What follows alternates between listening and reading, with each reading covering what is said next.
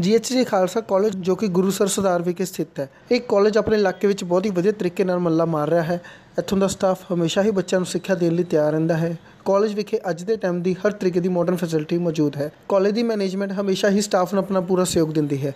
ਬੀਤੇ ਦਿਨੀ ਸਾਡੀ ਪੰਜਾਬ ਪਲੱਸ ਦੀ ਟੀਮ ਨੇ ਕਾਲਜ ਦਾ ਵਿਸ਼ੇਸ਼ ਦੌਰਾ ਕੀਤਾ। ਪੇਸ਼ ਹੈ ਪੰਜਾਬ ਪਲੱਸ ਦੀ ਟੀਮ ਵੱਲੋਂ ਇੱਕ ਰਿਪੋਰਟ ਸਰ ਵਿਦਿਆ ਦੀ ਦਾਨੀ ਇਹ ਕਾਲਜ ਜਿੱਥੇ ਲੰਬਾ ਸਮਾਂ ਤੁਸੀਂ ਪਹਿਲਾਂ ਐਜ਼ ਅ ਲੈਕਚਰਰ ਸੇਵਾ ਦਿੱਤੀ ਹੈਗੀ ਆ, ਹੁਣ ਐਜ਼ ਅ ਪ੍ਰਿੰਸੀਪਲ ਜਿਹੜੀ ਹੈਗੀ ਆ, ਸੇਵਾ ਤੁਸੀਂ ਕਰ ਰਹੇ ਹੋ, ਕੀ ਕਹਿਣਾ ਚਾਹੋ ਇਹ ਗੁਰੂ ਹਰਗੋਬਿੰਦ ਸਾਹਿਬ ਦੀ ਚਰਨ ਛੋਹ ਪ੍ਰਾਪਤ ਧਰਤੀ ਹੈ। ਮੈਂ ਇੱਥੇ 1985 ਦੇ ਵਿੱਚ ਜੁਆਇਨ ਕੀਤਾ। ਜਦੋਂ ਫਸਟ ਟਾਈਮ ਮੈਂ ਇਸ ਕਾਲਜ ਦੇ ਵਿੱਚ ਐਂਟਰ ਕੀਤਾ, ਮੇਰੀ ਮਨ ਦੀ ਤਮੰਨਾ ਇੱਕਦਮ ਗੇਟ ਦੇ ਵਿੱਚੋਂ ਹੋਈ ਕਿ ਅਗਰ ਮੇਰੀ ਇੱਥੇ ਸਿਲੈਕਸ਼ਨ ਹੋ ਜਾਂਦੀ ਹੈ ਅਪਾਇੰਟਮੈਂਟ ਹੋ ਜਾਂਦੀ ਹੈ ਤੇ ਮੇਰੇ ਲਈ ਬਹੁਤ ਖੁਸ਼ੀ ਦੀ ਗੱਲ ਹੋ ਗਈ। ਇੰਸਟੀਟਿਊਸ਼ਨ ਦੇਖ ਕੇ ਇੱਕ ਮੈਨੂੰ ਫੀਲਿੰਗ ਜੇ ਮਹਿਸੂਸ ਹੋਈ ਇੰਟਰਨਲ ਔਰ ਪਰਮਾਤਮਾ ਨੇ ਕਿਰਪਾ ਕੀਤੀ, ਸਾਡੀ ਸਿਲੈਕਸ਼ਨ ਹੋਈ ਤੇ ਉਸ ਤੋਂ ਬਾਅਦ ਉਸ ਵੇਲੇ ਕਾਮਰਸ ਦੇ ਵਿੱਚ ਮੇਰਾ ਸੀ। ਬਹੁਤ ਘੱਟ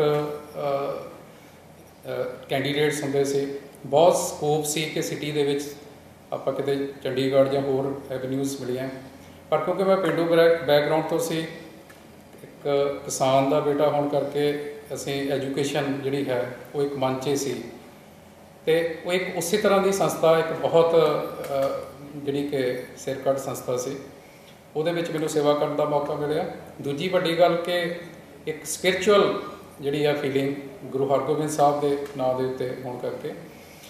ਤੇ ਮੈਂ ਕਈ ਚਾਂਸਸ ਮਿਲੇ ਕਿ ਕਈ ਜਗ੍ਹਾ ਦੇ ਉੱਤੇ ਜਲੰਧਰ, ਕਿਉਂਕਿ ਮੇਰਾ ਹੁਸ਼ਿਆਰਪੁਰ ਡਿਸਟ੍ਰਿਕਟ ਆ। ਕਿ ਘਰ ਦੇ ਹੋਮ ਡਿਸਟ੍ਰਿਕਟ ਦੇ ਲਾਗੇ ਚੱਲ ਜਾਈਏ ਪੀਪੀਐਸਸੀ ਦੇ ਥਰੂ ਪਰ ਮਨ ਦੇ ਵਿੱਚ ਸੀ ਕਿ ਨਹੀਂ, ਇਹ ਜਗ੍ਹਾ ਦੇ ਉੱਤੇ। ਤੇ ਇਹ 33 ਸਾਲ ਤੋਂ ਲਗਾਤਾਰ ਇੱਥੇ ਸੇਵਾ ਨਿਭਾ ਰਹੇ ਕਮਰਸ ਦੇ ਵਿੱਚ, ਉਸ ਤੋਂ ਬਾਅਦ ਐਚਓਡੀ ਕਮਰਸ ਹੁਣ ਕਿਸੇ ਵੀ ਰੂਪ ਦੇ ਵਿੱਚ ਜਿਹੜੀ ਹੈ ਸੇਵਾ, ਉਹ ਭਾਵੇਂ ਕਾਲਜ ਦੇ ਵਿੱਚ ਇੱਕ ਸੇਵਾਦਾਰ ਕੰਮ ਕਰ ਰਿਹਾ ਪੀਐਨ ਕੰਮ ਕਰ ਰਿਹਾ, ਹਰ ਇੱਕ ਦੀ ਇੱਕ ਸਪਿਰਿਟ ਜਿਹੜੀ ਹੈ, ਉਹ ਇਹਦੇ ਵਿੱਚ ਰੁਤਬੇ ਦੇ ਨਾਲ ਜਾਂ ਉਹਦੇ ਨਾਲ ਨਹੀਂ ਜੁੜੀ ਹੋਈ। ਅਸੀਂ ਉਹਨੂੰ ਜਿਹੜਾ ਹੈਗਾ ਗੁਰੂ ਹਰਗੋਬਿੰਦ ਸਾਹਿਬ ਦੀ ਇੱਕ ਪਰਿਵਾਰ ਦੇ ਤੌਰ ਦੇ ਉੱਤੇ ਸਾਰੇ ਲੈਨੇ ਆ ਤੇ ਉਸੇ ਤਰ੍ਹਾਂ ਹੀ ਅਸੀਂ ਇਹਦੇ ਵਿੱਚ ਕਰ ਰਹੇ ਹਾਂ। ਅਸੀਂ ਬੱਚਿਆਂ ਦੇ ਨਾਲ ਜੁੜਨ ਦੀ ਕੋਸ਼ਿਸ਼ ਕਰਦੇ ਹਾਂ। ਬੱਚਿਆਂ ਦੀਆਂ ਸਮੱਸਿਆਵਾਂ ਸਾਨੂੰ ਪਤਾ ਕਿ ਪਿੰਡਾਂ ਵਿੱਚ ਕਿਸ ਤਰ੍ਹਾਂ ਦੀਆਂ ਨੇ। ਉਹਨਾਂ ਦੇ ਤੱਕ, ਉਹਨਾਂ ਦੇ ਫੈਮਿਲੀ ਪ੍ਰੋਬਲਮਸ ਤੱਕ ਕੋਸ਼ਿਸ਼ ਕਰਦੇ ਹਾਂ ਕਿ ਉਹਨਾਂ ਨਾਲ ਅਸੀਂ ਇਨ ਟੱਚ ਰਹੀਏ। ਸ਼ਾਇਦ ਇਸੇ ਕਰਕੇ ਪ੍ਰਮਾਤਮਾ ਦੀ ਕਿਰਪਾ ਹੈ ਸਾਡੇ ਕਾਲਜ ਦੇ ਉੱਪਰ ਕਿ ਇਹ ਦਿਨ ਦੁਗਣੀ ਰਾਤ ਚੌਗਣੀ ਤਰੱਕੀ ਕਰ ਰਿਹਾ ਹੈ। ਸਾਡੇ ਕੋਲ ਕਿਉਂਕਿ ਇਹ ਸੰਸਥਾ ਜਿਸ ਤਰ੍ਹਾਂ ਮੈਂ ਪਹਿਲੇ ਕਿਹਾ, ਸਾਡੇ ਜਿਹੜੇ ਬਹੁਤ ਹੀ ਸਤਿਕਾਰਯੋਗ ਫਾਦਰ ਫਿਗਰ ਸਰਦਾਰ ਬਖਤਾਵਰ ਸਿੰਘ ਗਿੱਲ, ਉਹ, ਉਹਨਾਂ ਨੂੰ ਅਸੀਂ ਆਉਂਦੇ ਦੇਖਦੇ ਸੀ। ਉਸ ਵੇਲੇ 7:30 ਵਜੇ ਹੀ ਕਾਲਜ ਕੈਂਪਸ 'ਚ ਆ ਜਾਂਦੇ ਸੀ। ਅਸੀਂ ਉਹ ਜੋ ਬਹੁਤ ਹੀ ਯੰਗ ਜਾਂ ਨਵੇਂ ਸੀਗੇ।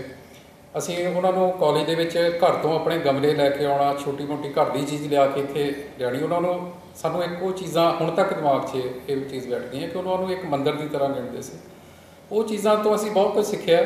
ਉਹਨਾਂ ਦੇ ਬੇਟੇ ਇਸ ਵੇਲੇ ਸਾਡੇ ਜਿਹੜੇ ਸਤਿਕਾਰਯੋਗ ਸਰਦਾਰ ਮਜੀਤ ਸਿੰਘ ਗਿੱਲ ਸਾਡੇ ਗਵਰਨਿੰਗ ਕਾਉਂਸਲ ਦੇ ਪ੍ਰੈਜ਼ੀਡੈਂਟ ਨੇ ਉਤੋਂ ਅੱਗੇ ਉਹਨਾਂ ਨੇ ਕੈਰੀ ਔਨ ਕੀਤਾ। ਮੈਨੇਜਮੈਂਟ ਦੀ ਬਹੁਤ ਹੀ ਵਿਜ਼ਨ ਜਿਹੜਾ ਹੈ ਲੌਂਗ ਵਿਜ਼ਨ ਲੈ ਕੇ ਇਹ ਚੀਜ਼ ਨੂੰ ਕਿ ਬੱਚਿਆਂ ਨੂੰ ਅਸੀਂ ਵੱਧ ਤੋਂ ਵੱਧ ਜਿਹੜਾ ਹੈ, ਹਮੇਸ਼ਾ ਸਾਨੂੰ ਉਹਨੇ ਐਨਕਰੇਜ ਕੀਤਾ, ਨਾਲ ਲੈ ਕੇ ਚੱਲੇ।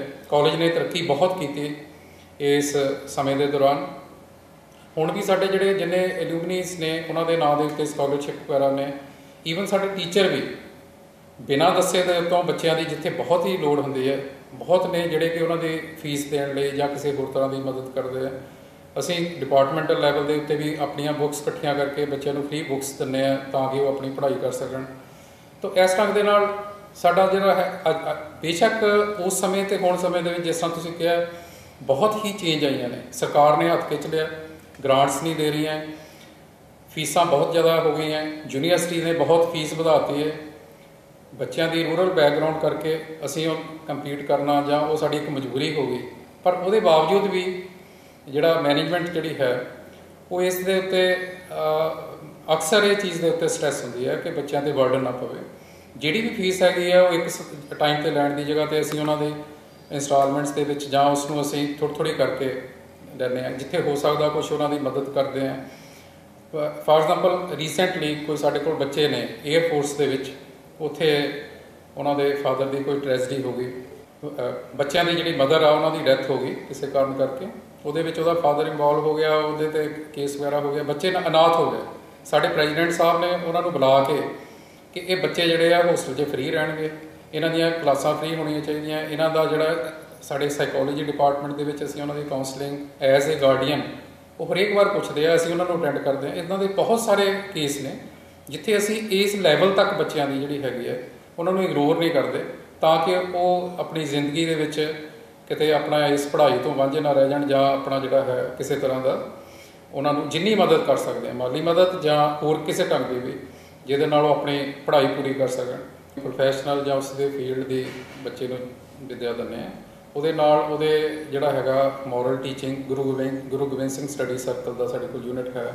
ਉਹਦੇ ਨਾਲ ਨਾਲ ਧਾਰਮਿਕ ਸੈਕਸ਼ਨ ਵਗੈਰਾ ਦੇ ਉੱਤੇ ਜਿਹੜੇ ਆ ਟੈਸਟ ਵਗੈਰਾ ਹੁੰਦੇ ਆ, ਬੱਚਿਆਂ ਨੂੰ ਆਪਾਂ ਐਜੂਕੇਸ਼ਨ ਦਿੰਦੇ ਆ ਮੋਰਲ ਐਜੂਕੇਸ਼ਨ ਦਿੰਦੇ ਆ ਸਪੋਰਟਸ ਦੇ ਵਿੱਚ ਬੱਚਿਆਂ ਦੀ ਇਨਵੋਲਵਮੈਂਟ ਕਰਦੇ ਆ ਇਸ ਤੋਂ ਇਲਾਵਾ ਜਿਹੜਾ ਹੈ ਬੱਚੇ ਦੀ ਓਵਰਆਲ ਪਰਸਨੈਲਿਟੀ ਵਾਸਤੇ ਵੀ ਵਰਕ ਕੀਤਾ ਜਾਂਦਾ। ਸਾਡੇ ਕੋਲ ਆਈਐਸ ਦੀਆਂ ਅਸੀਂ ਰਿਟਾਇਰਡ ਸਾਇੰਟਿਸਟ ਹੈ, ਜਿਹੜਾ ਕਿ ਸਾਡਾ ਐਲੂਮਨੀ ਹੈ, ਪੁਰਾਣਾ ਸਟੂਡੈਂਟਸ ਉਹ ਸਾਡੇ ਕੋਲ ਰੈਗੂਲਰ ਜਿਹੜਾ ਹੈ ਰਿਟਾਇਰਮੈਂਟ ਤੋਂ ਬਾਅਦ ਜੁੜਿਆ ਹੋਇਆ, ਤੇ ਉਹ ਇੱਕ ਕਿਸਮ ਦੀ ਮੁੱਖ ਸੇਵਾ ਕਹਿ ਲਓ ਜਾਂ ਉਹ ਬੱਚਿਆਂ ਨੂੰ ਜਿਹੜੇ ਉਹਦੇ 'ਚ ਇੰਟਰਸਟਡ ਆ ਕੰਪੀਟੀਸ਼ਨ ਵਾਸਤੇ, ਉਹਨਾਂ ਦੀ ਉਹ ਤਿਆਰੀ ਕਰਾਉਂਦੇ ਨੇ।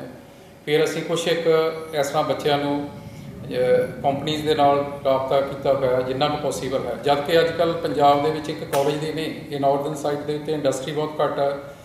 ਅੱਜ ਕੱਲ ਅਸੀਂ ਦੇਖਦੇ ਹਾਂ ਬੱਚੇ ਜਿਹੜੇ ਆ, ਉਹ ਇੰਡੀਆ ਤੋਂ, ਪੰਜਾਬ ਤੋਂ ਸਪੈਸ਼ਲੀ ਜਿਹੜੇ ਆ, ਬਾਹਰਲੀ ਸਟੇਟਸ ਨੂੰ ਜਾ ਰਹੇ ਆ। ਇਹ ਇਹ ਚੀਜ਼ਾਂ ਕੁਝ ਚੀਜ਼ਾਂ ਸਾਡੇ ਕੰਸਟ੍ਰੇਂਟਸ 'ਚ ਨਹੀਂ ਹੈ ਕਾਲਜ ਲੈਵਲ ਤੇ ਨਹੀਂ ਹੈ, ਇਹ ਗਵਰਨਮੈਂਟ ਲੈਵਲ ਤੇ ਚੀਜ਼ਾਂ ਡਿਸਕਸ ਹੋਣ ਵਾਲੀਆਂ। ਕਿ ਇੱਥੇ ਨੂੰ ਬੱਚਿਆਂ ਨੂੰ ਰੋਜ਼ਗਾਰ ਜਿਹੜਾ ਹੈ, ਵੱਧ ਤੋਂ ਵੱਧ ਕਿਵੇਂ ਮੁਹੱਈਆ ਕਰਨਾ ਗਵਰਨਮੈਂਟ ਦੇ ਉੱਤੇ ਹੈ। ਪਰ ਫਿਰ ਵੀ ਅਸੀਂ ਕੋਸ਼ਿਸ਼ ਕਰਦੇ ਹਾਂ ਕਿ ਜਿੱਥੇ ਵੀ ਪੋਸੀਬਲ ਹੈ, ਉਹਨਾਂ ਨੂੰ ਪ੍ਰੋਫੈਸ਼ਨਲ ਐਜੂਕੇਸ਼ਨ ਦਿੱਤੀ ਜਾਵੇ। ਕੁਝ ਅਸੀਂ ਕੰਪਨੀਆਂ ਨੇ ਜਿਨ੍ਹਾਂ ਨੂੰ ਅਸੀਂ ਇਨਵਾਈਟ ਕਰਦੇ ਹਾਂ 5 ਤਰੀਕ ਨੂੰ ਸਾਡੇ ਕੋਲ ਆਈਐਸ ਪ੍ਰੋਡੈਂਸ਼ੀਅਲ ਕੰਪਨੀ ਹੈ ਉਹਨੇ ਆਣਾ ਆਈਐਸਐਸ ਬੈਂਕ ਆਈਸੀਆਈਸੀ ਬੈਂਕ ਜਿਹੜੀ ਹੈ ਉਸਨੇ ਪਿਛਲੇ ਸਾਲ ਰਿਕਰੂਟਮੈਂਟ ਕੀਤੀ ਹੈ। ਕਿ ਵੀ ਸਾਡੇ ਲਗਾਤਾਰ ਸਾਡੇ ਨਾਲ ਇਨ ਟੱਚ ਨੇ। ਆਇਓ ਵੀ ਹੈ ਸਾਡੇ ਕੋਲ ਉਹ ਸਾਡੇ ਕੋਲ ਆਉਂਦੇ ਨੇ। ਕੁਝ ਸਾਡੇ ਕੋਲ ਬਰਨਾਲੇ ਤੋਂ ਕੁਝ ਫਾਰਮਾਸਿਊਟੀਕਲ ਕੰਪਨੀਆਂ ਆ ਉਹ ਕੈਮਿਸਟਰੀ ਦੇ ਵਿੱਚ ਫਾਰਮੇਸੀ ਦੇ ਵਿੱਚ ਜਾਂ ਬਾਇਓਟੈਕ ਹੈ ਉਹਦੇ ਬੱਚਿਆਂ ਨੂੰ ਲੈ ਕੇ ਜਾਂਦੇ।